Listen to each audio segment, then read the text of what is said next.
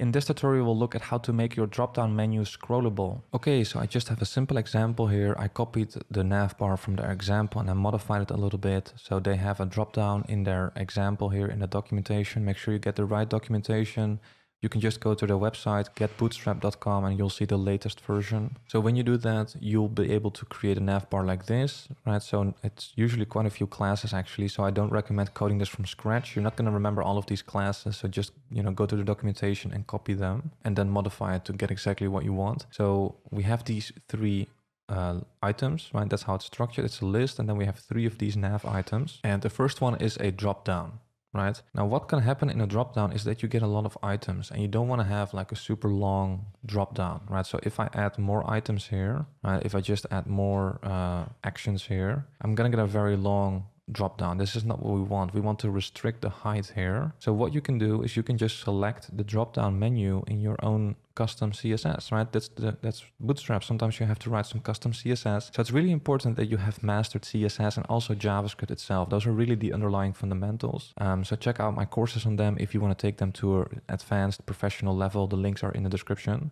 But what you can do is you can select the drop down menu you can restrict the height. You can say the height should be at most 200 pixels. When you do that, you can already see that the styling looks different.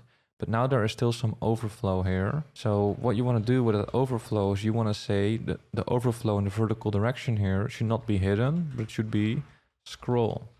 Right, so we should be able to scroll. And then this is what you get. And in CSS, by the way, these days you can also style the scroll bar, but that's a topic for another day. By the way, if this was helpful, I'd really appreciate it if you could like and subscribe. Also, check out my courses on CSS and JavaScript if you want to take those skills to an advanced level. Because in there, we will build some beautiful real world projects from scratch so you can see how everything fits together and really master CSS or JavaScript. And I will also release other courses soon like React and Node.js. So if you want to be notified, then make sure you are subscribed to the email newsletter. You can find the link in the description. Thanks for watching and I hope to see you soon.